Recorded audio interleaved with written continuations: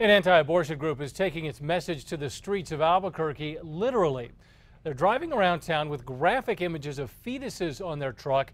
Now the mayor is stepping in and asking them to tone it down. News 13's Marissa Lucero is live near San Mateo and Central with more. Marissa?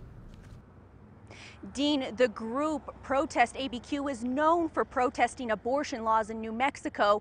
Well, they saw the mayor's message, but they say they don't plan on stopping. They're images you don't expect to see when you're outside watering your plants oh, or fixing up the front yard. They're images so graphic, we can't show them to you. It's a little bit unnecessary. But if you live in the Southeast Heights, it's terrible. You may have seen this truck driving through your neighborhood. It belongs to the group Protest ABQ. The group has been driving around town trying to protest late term abortion. That protest made its way to the top to Mayor Berry, who says the billboard is too graphic for children in the neighborhood He's even put out a YouTube video asking the group to stop. What I'm doing today is I'm asking them to stop that activity. You know, I'm a pro-life mayor. I was pro-life as a state legislator. Uh, it's not the issue that concerns me, it is the way they're going about this. Berry says he's spoken with parents who are tired of seeing the truck in their neighborhoods.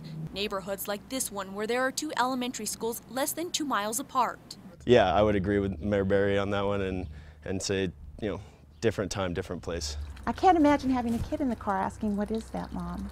The founder of Protest ABQ saw the mayor's video and responded with his own video message to the mayor. No indication that you are pro life other than the words of a politician who obviously cares more about children seeing the results of baby killing than the children being killed. But the mayor isn't backing down. I'm just asking people, you have a legal right to do what you're doing. but We're asking you to do it in a way that's more responsible and